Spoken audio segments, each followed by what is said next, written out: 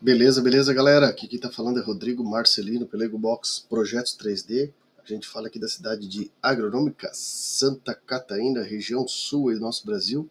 Vamos lá então para mais uma solução acústica, mais um problema resolvido, mais um projeto Pelego Box feito aí do zero. Dessa vez é para o nosso amigo Marcelo. O Marcelo comprou o projeto aí diretamente no nosso site. Então eu quero agradecer ao Marcelo aí pela preferência, pela confiança e pela paciência, né?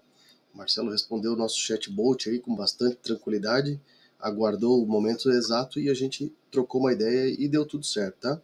Parabéns aí por ser uma pessoa tranquila e compreensiva. Vamos lá. É, o Marcelo vai utilizar aí, ele vai, pelo que eu entendi, eu acho que ele vai montar uma, uma Bob Esponja e essa aqui é a parte do grave. Mais ou menos isso, né? Eu não entendi muito bem, mas enfim, vamos lá. É, ele escolheu o modelo Turbo Bass, tá galera? Turbo Bass eu chamei porque tem dois dutos, só isso, ponto. É, ele vai utilizar aqui um alto-falante da Eros que é magnífico, tá? É a evolução da evolução da evolução. Então é o 18 Target Base 4K Double. Esse alto-falante é super flexível, extraordinário, tá galera? Quem quiser uma indicação de alto-falante, tem bastante clientes vindo falar comigo e querem indicações. Eu não faço indicações porque perde muito tempo, tá galera? Então, quem quer indicações, vai no nosso canal. Eu vou ensinar ali depois. Tem playlists. Ali tu vai procurar. Quero um alto-falante flexível. Quero uma caixa com horn. Quero uma caixa cornetada. Ali tem vários alto-falantes. E aí tu escuta o que eu falo. Se eu falar que é flexível, pode comprar. Se eu falar que é travadão, aí a escolha está na tua mão. Se tu prefere um alto-falante mais travado, mais automotivo, por causa do preço ou por causa da marca, ok, é uma escolha. Se tu quer um alto-falante é, pica da galáxia, tu faz o que tu quer com ele, aí tu opta pelo flexível, que é o que eu falo, tá? Então vamos lá, ele vai utilizar aqui para empurrar então um Vulcan 3000 4 ohms, compensado de 20 milímetros e o alto-falante vai ser invertido, um grave misto, né? E ele pediu aí uma horn é, que ele escolheu a profundidade lá no nosso questionário, tá galera? Todos os nossos clientes aí passam pelo questionário, até quem compra a Bob Esponja do Neymar, tá pessoal? Por que isso?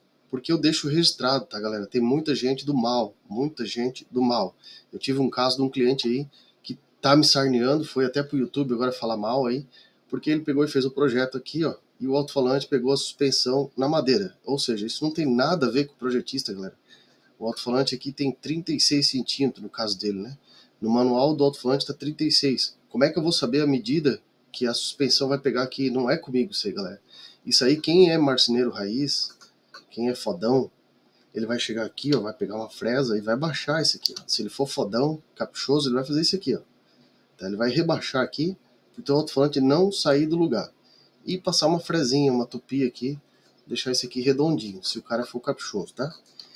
Então não tem nada a ver com projetista, galera. Isso aí é gente do mal. Então por isso que eu digo, eu tomo muito cuidado, eu tenho um questionário pra galera responder, para mim entender tentar ajudar essa pessoa a não fazer cagada e para depois não vir com mimimi, reclamação no YouTube, reclamação no, no Facebook, Instagram, que o cara é, é do mal, tá? Eu não sou do mal, eu sou do bem. Quem não compreende, às vezes, é o cliente que a gente tá aqui para ajudar, tá? Eu tenho diversos clientes aí que eu falo, falo, falo, falo, falo, falo, repito, repito, repito, e o cara vai pro lado que ele escolheu. Então, show de bola, segue o baile. Depois, se der ruim, não adianta vir reclamar, falar, falar isso, falar aquilo. Por isso que eu faço tudo registrado as conversas do WhatsApp ficam salvas, os áudios ficam salvos, todos os questionários eu tenho salvo. Por quê? Porque é uma forma de eu me proteger contra as pessoas do mal, galera. Do mal.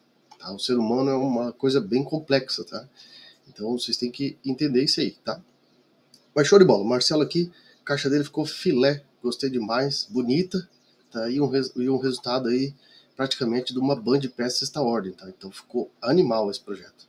Parabéns aí, Marcelo, pela escolha ele vai utilizar esse aqui, ó, filé do filé, é o 18 Target Base Double Magnet 4K, tá?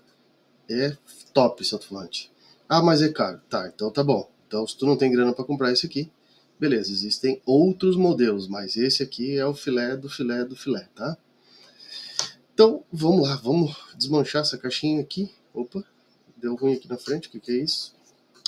Vamos desmanchar a caixinha, vamos fazer a montagem bem tranquila, ela é fácil pra caramba.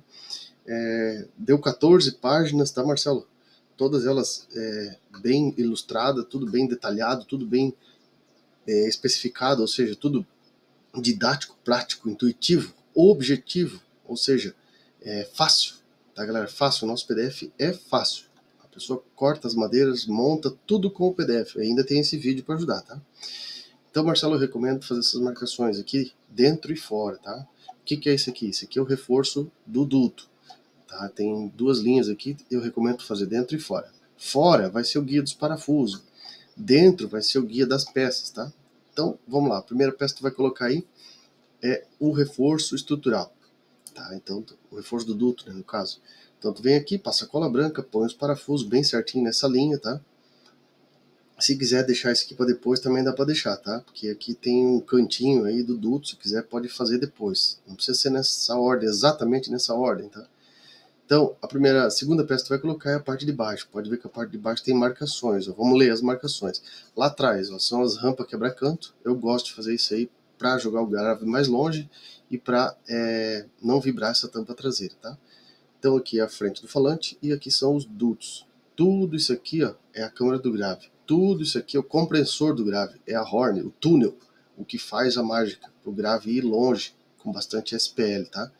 Porém, é uma caixa que às vezes pro lado não fica tão boa, tá? Eu sempre digo, é uma escolha, tá? Tem quatro famílias de caixas acústicas, ao meu ver.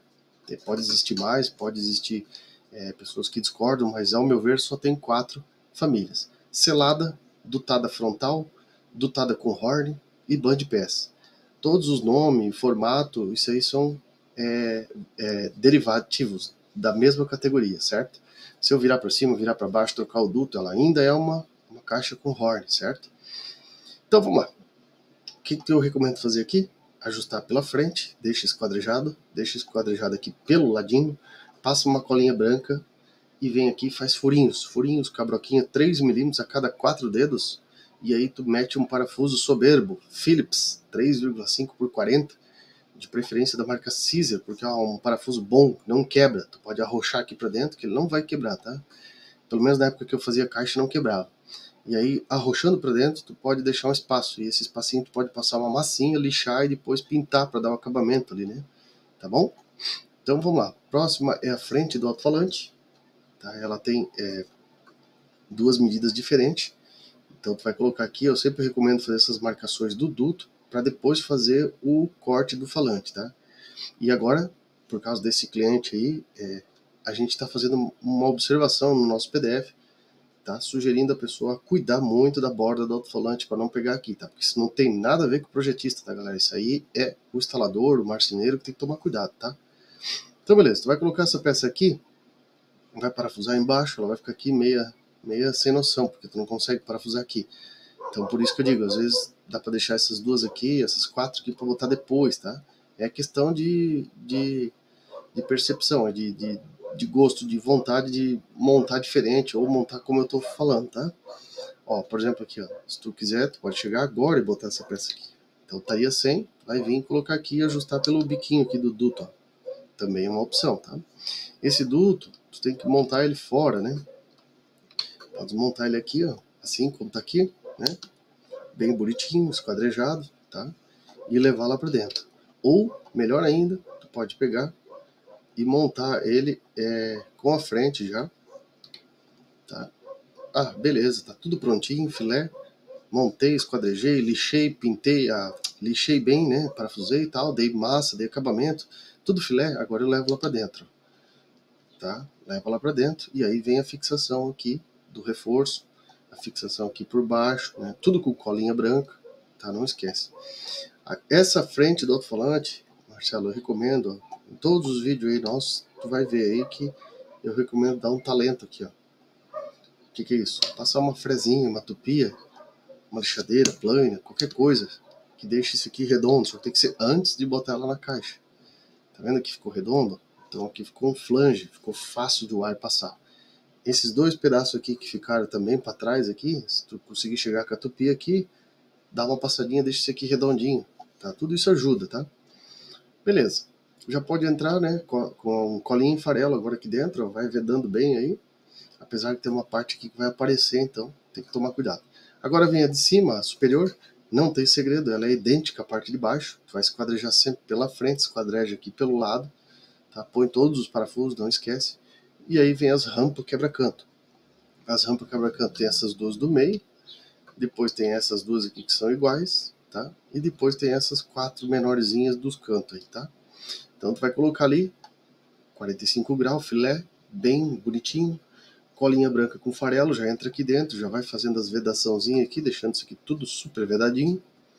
Põe todos os parafusos e já era. Vamos para a próxima, que é a tampa traseira. Essa não tem segredo, né? Esquadreja por cima, para ficar bonito, esquadreja depois pelo lado e vem colocando todos os parafusos aqui, ó. Não esquece de parafusar aqui as rampas, não esquece de parafusar essas duas rampas do meio, os reforços, tudo bem parafusadinho, tá? E aí tu pode entrar com cola e farelo pega aquele farelinho que sobrou da serra, mistura aí num pote com cola branca, até ficar tipo um mingau, e aí pega um pincel, tá? E vai lá dentro, ó, e vai espalhando, vai espalhando, vai espalhando, tá? Vai espalhando, vai espalhando bem, vedando tudo a caixinha por dentro, tá? Para não ter perigo de vazar. Eu sempre digo, caixa de som, galera, é que nem caixa d'água, não pode ter vazamento. O grave tem que sair só aqui dos dutos. E claro, aqui na horn também, né? Beleza, aqui no alto-falante, ó, se tu puder colocar uma fitinha EVA, ou se tu puder rebaixar isso aqui, que nem eu falei no começo do vídeo, seria interessante para fazer uma boa vedação, tá? Porque senão fica soprando aqui. Tá? Ah, quando tu fizer o furo aqui embaixo, passar os fios, também passa o fio, mete o silicone quente e veda bem, deixa tudo vedado.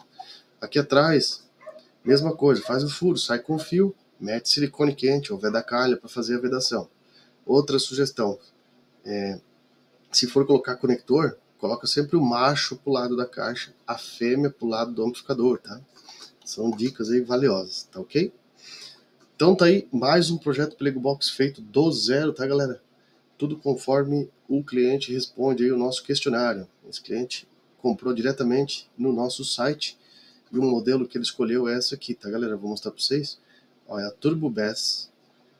É, ele clicou aí no link aqui e já comprou via Pix aí no nosso site mesmo, diretamente no nosso site, tá? Caiu a venda para mim, eu já entrei em contato. Aliás, ele entrou em contato com a gente e é, a gente passou para ele o questionário, tá vendo? Tá aqui, ó. Clicou em comprar, vai pro checkout, bem tranquilo.